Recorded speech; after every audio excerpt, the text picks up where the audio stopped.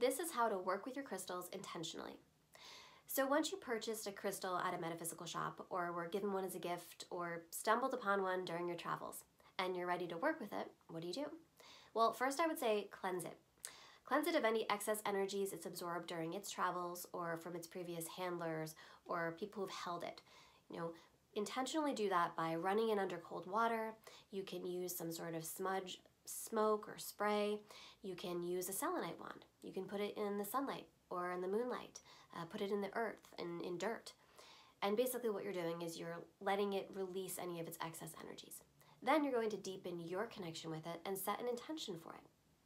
I do that by holding it in my dominant hand, which is my right hand, and I'll keep it on me and I will visualize what I'd like that crystal or stone to do for me. Say I found myself drawn towards fluorite because I need some sort of help with mental clarity and focus. So then I will hold that fluorite in my right hand and I will affirm I am focused, I am clear. I will thank the stone for doing that for me, for working with me in that way. And then I will keep it on my person somewhere. I'll put it in my pocket. I'll, I'll keep it close to my body, or I'll put it on an altar or some sort of sacred space. Because now it is charged with that intention.